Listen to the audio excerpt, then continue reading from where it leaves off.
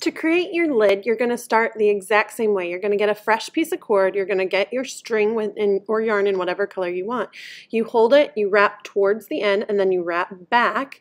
Um, be careful not to let your yarn slide off of the end. We want to cover the tail of the string to secure it. Once we've wrapped about two inches or so, um, we're going to fold it in half. Once we fold it in half, then we are going to wrap around the two pieces to create that center loop that we will need for our lid. So again, make sure to leave a little opening, but then you're going to wrap around both pieces of cord until you um, hide that second piece and you are just wrapping around the single piece of cord.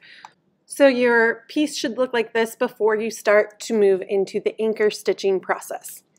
Next, you're going to take and bend your piece in half um, you want to make sure that the end of your wrapping lines up with the opening in that center loop.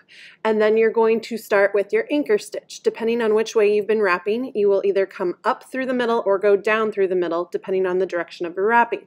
This will create your first anchor stitch. Remember, you can do one or two anchors and then you go back to your wrapping process. You will continue to wrap your cord for 10 wraps and then add another anchor stitch to the middle.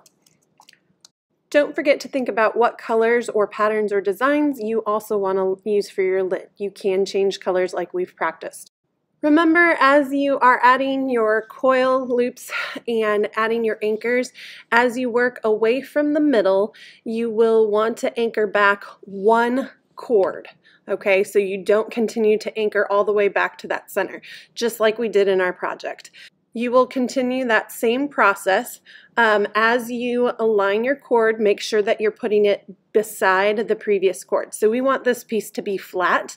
So as you work your way out, continue with your 10 wraps, anchor stitch, 10 wraps, anchor stitch, and keep wrapping your cord around um, to build a flat lid.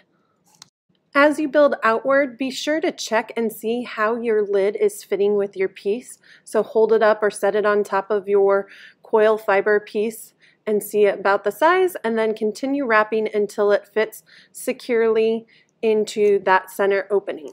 Once your lid is the correct size, it's time to end our weaving and we're going to follow the same steps as before. So you are going to continue to wrap until you get to the diagonal end of the cord and then you're going to anchor stitch until there is no more white cord showing. After that, you will take and loop your needle through one of the anchor stitches, create a loop, Send your needle through the loop and pull it tight to create the knot. And you might repeat this step more than once to make sure that the end of your yarn is completely secure. If you would like to, you can run your needle through another anchor stitch and then trim the tail so that it is hidden under that last anchor stitch. Now we take another piece of cord and we need to create a lip that will sit inside of our coil vessel to help hold the lid in place. So I take the cord, I figure out how long it needs to be to wrap around. So I'm placing it on top of the second loop in from the edge and then I mark where I need to cut my diagonal and then I take and I trim my cord to a diagonal. After that, I take my string that I'm going to be working with and a piece of masking tape. I hold the tape sticky side up and I place one side of the cord and my string onto the sticky masking tape. Then I line up the other edge with it and I wrap the tape around it to secure everything together. For this next step, I'm going to take my yarn and I'm going to just continue to wrap it around and around and around the cord until the entire cord and masking tape is hidden and I am back where I first started wrapping. Make sure to pull your wrapping tight against the cord. Um, it's a way that we can also secure the two pieces together. After I am done wrapping the entire loop, then I'm going to take the end of my string with a needle on it and I am going to anchor stitch to my second um, loop of my lid. So I go down on one side of the loop and then I come back up the other side. So I am anchor stitching or attaching this wrapped ring to the lid. And this will be the bottom of the lid, the part that sits inside of your coil vessel. You will continue to loop up and down through each side of that second ring of the lid to anchor the coil in place all the way around your lid. So you're repeating this process all the way around the entire lid to make sure that that loop is secure and will not move.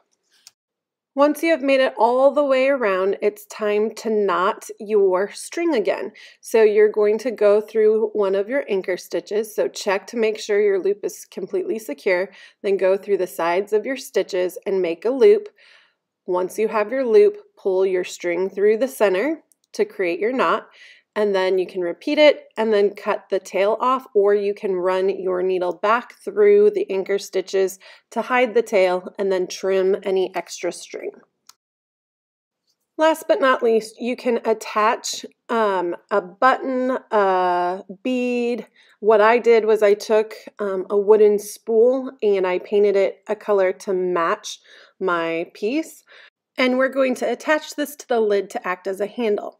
So we're going to take some thinner string, run it through the object, and then we will take our needle, attach it onto the end. We're going to send the needle down through one side of the center, and then we will position the spool or bead, um, and we will send the needle through the other side, and then we will knot both ends underneath the lid to secure the handle into place for our lid. You might double knot the handle into place and then after you are finished, take your scissors, trim off any extra string. Then place your lid on top of your coil uh, weaving and see how it all fits together.